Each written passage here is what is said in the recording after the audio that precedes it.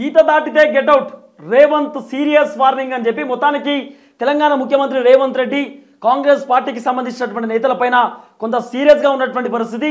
మీ ఇష్టం ఉన్నట్లు వ్యవహరిస్తే మా ఇష్టం ఉన్నట్లు చేస్తామనుకుంటే ఖచ్చితంగా ఇక్కడ కొనసాగనటువంటి పరిస్థితి. అట్లా యాక్సెప్ట్ చేయము. పార్టీకి అంటూ కొన్ని రూల్స్ అండ్ రెగ్యులేషన్స్ ఉంటాయి. మా ఇష్టం ఉన్నట్టు మాట్లాడతాం. మేము ఎవరితో పడితే వాళ్ళతో కలుస్తాము.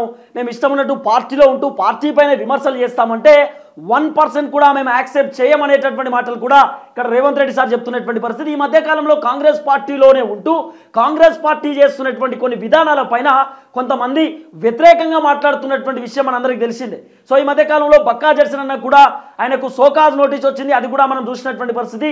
ఇదే నేపథ్యంలో కాంగ్రెస్ పార్టీ నేతలకు తెలంగాణ ముఖ్యమంత్రి రేవంత్ రెడ్డి సార్ కీలకమైనటువంటి వార్నింగ్ ఇచ్చిందనేటటువంటి ఒక చర్చ కూడా వినబడతా ఉన్నది. ఇష్టం ఉన్నట్టు నోటికొచ్చినట్టు మాట్లాడతాము.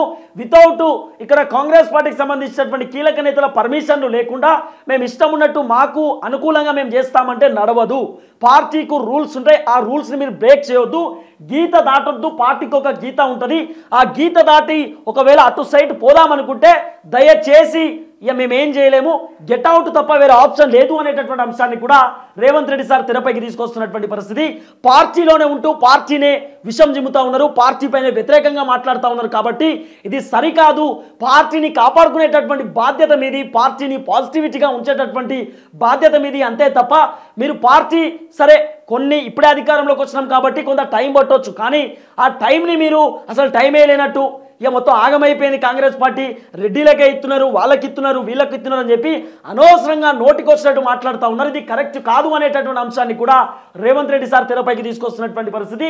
అందరికీ కూడా న్యాయం చేస్తాం ఎవరిని కూడా అన్యాయం చేయము. ఖచ్చితంగా కాంగ్రెస్ పార్టీ కోసం ఎవరెవరైతే పోరాటం చేసిరో కాంగ్రెస్ పార్టీ కోసం ఎవరెవరైతే కీలకంగా ప్రయత్నం చేసిరో కాంగ్రెస్ పార్టీ అధికారంలోకి రావడానికి ఎవరెవరైతే కీలకంగా కొట్లాడిరో వాళ్ళందరికీ కూడా కీలకమైనటువంటి పదవులు ఇస్తామనేటటువంటి మాటనే ఇక్కడ రేవంత్ రెడ్డి సార్ చెప్తున్నటువంటి పరిస్థితి. సో గీత దాటితే మాత్రం గెట్ అవుట్ వేరే ఆప్షన్ లేదు అనేటటువంటి అంశాన్ని రేవంత్ రెడ్డి సార్ చెప్తున్నటువంటి పరిస్థితి. అంటే పీసీసీగా ఉన్నప్పుడు కూడా రేవంత్ రెడ్డి పైన అనేక విధాలుగా విమర్శలు చేసిరు రేవంత్ రెడ్డిని అనేక విధాలుగా ఇబ్బంది పెట్టిరు ఆ రోజు కూడా ఆయన తట్టుకుంటూ తట్టుకుంటూ సరే మనోళ్ళే కదా మనోళ్ళే కదా అనుకుంటూ ముందుకొచ్చిండు. ఈరోజు ముఖ్యమంత్రి అయిన తర్వాత కూడా రేవంత్ రెడ్డిని టార్గెట్ చేస్తూ రేవంత్ రెడ్డి ఐసా రేవంత్ రెడ్డి తైసా అని చెప్పి ఈ రోజు కూడా ఆయనని టార్గెట్ చేస్తూ కొంతమంది మాట్లాడుతున్న పరిస్థితి. సో దానికి రేవంత్ రెడ్డి తనకు ధీటుగా ఒక కీలకమైనటువంటి వార్నింగ్ ఇచ్చినటువంటి పరిస్థితి. రూల్స్ పార్టీకి ఉన్నటువంటి రూల్స్ను బ్రేక్ చేస్తే ఖచ్చితంగా మీరు కాంగ్రెస్ పార్టీ నుండి మీరు నోటీసులు తీసుకోవాల్సిన అవసరం వస్తుంది. కాంగ్రెస్ పార్టీ మిమ్మల్ని ఖచ్చితంగా వదిలిపెట్టదు. మీకు ఇష్టం లేకపోతే వెళ్ళిపోండి. ఎందుకంటే ఆల్రెడీ కీలకమైనటువంటి నేతలు జాయిన్ అవుతా ఉన్నారు. మీకు పార్టీ పైన విషయం జిమ్మాల్సినటువంటి అవసరం లేదు అనేటటువంటి అంశాన్ని కూడా రేవంత్ రెడ్డి పక్కడబందిగా తెరపైకి తీసుకొస్తున్నటువంటి పరిస్థితి. చూద్దాము. మరి ఈ వార్నింగ్ ఎట్లా చూస్తారు కాంగ్రెస్ పార్టీకి సంబంధించినటువంటి నేతలు అనేది? ఎందుకంటే ఆ పార్టీలోనే ఉంటూ ఆ పార్టీలోనే విషం జిమ్మే బ్యాచ్ ఉన్నది. కాంగ్రెస్ పార్టీలో కోవర్టులు లెక్క కొంతమంది ఉన్నారు కాబట్టి రేవంత్ రెడ్డి స్ట్రైట్గా వాళ్ళకు అనుగుణంగా వాళ్ళకు తాకే విధంగా వార్నింగ్ ఇచ్చిండు.